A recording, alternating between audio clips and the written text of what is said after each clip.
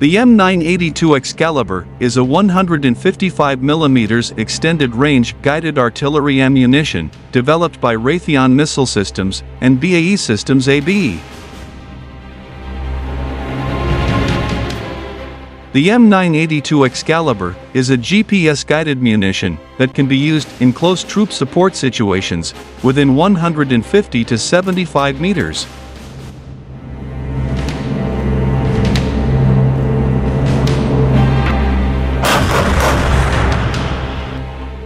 In 2005, the United States plans to purchase 7,474 cartridges for a total program cost of 1.9341 billion US dollars and an average of 258,777 US dollars per unit.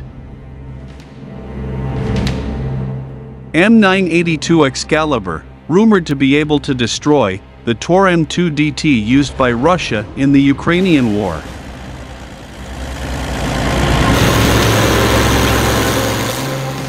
M982 Excalibur, this is one of the weapons assistance which Ukraine obtained from Western countries.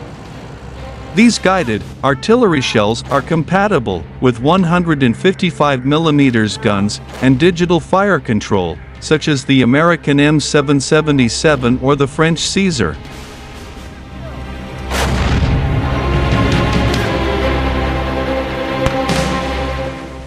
After various trials and other developments, the M982 Excalibur was first used operationally in Iraq in 2007.